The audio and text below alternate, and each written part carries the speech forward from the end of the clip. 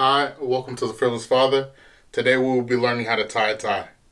Um, my mom was the first person to ever teach me how to tie a tie. Ever since then, I've learned a little bit, but she taught me the half Windsor knot, which is the knot we'll be going over today. Um, this is actually my favorite tie. It's all black. I don't know if you can tell. It has some sort of kind of a like a geometric curvy design to it. I really like it. And black tends to go with anything and almost everything.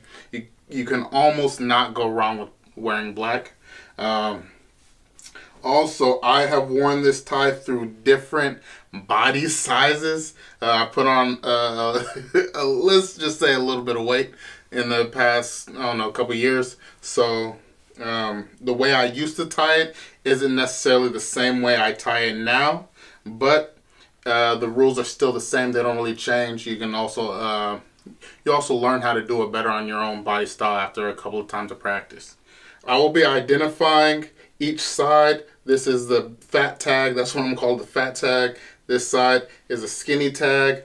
Now I like to put the fat tag on my right hand side. That's kind of my easiest way to do it.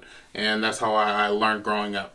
So I take I take the uh, tie, toss it over my neck, stick the fat tag on the right and the skinny tag on my left.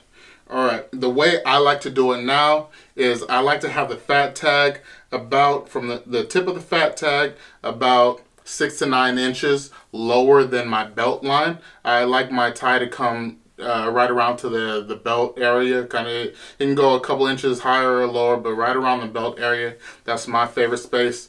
Um, so six to nine inches past the belt line because that's where you want it to end up.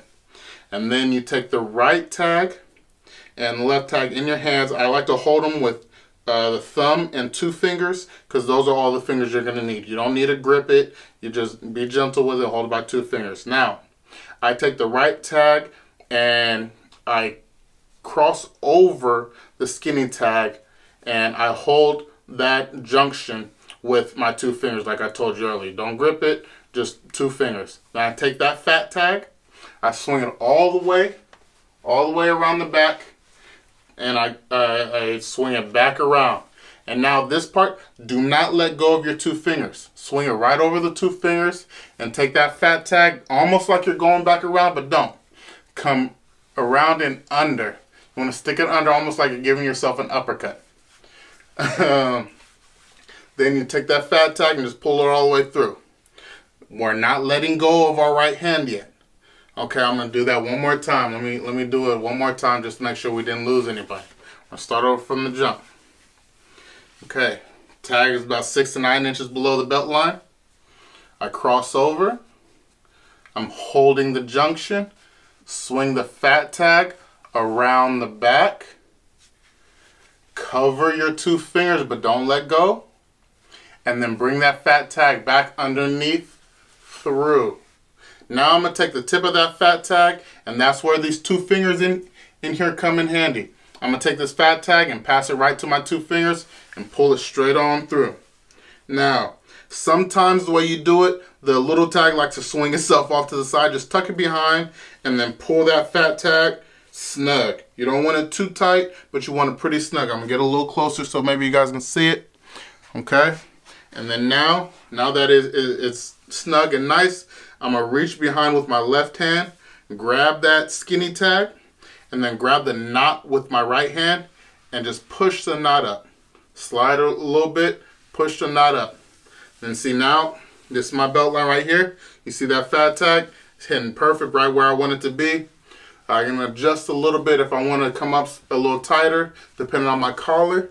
Uh, I'm not wearing a collar right now, but depending on my collar, and then right here, that's that's perfect. That's it. Let me take a picture in the mirror. That's exactly what I'm looking for. You can go as tight as you want or loose as you want. I like to leave it a little loose because I like to get a little loose. but no, you bring it nice snug to the neck. You're not trying to choke yourself. You're not trying to hurt yourself. Um, you're just trying to bring it nice and snug.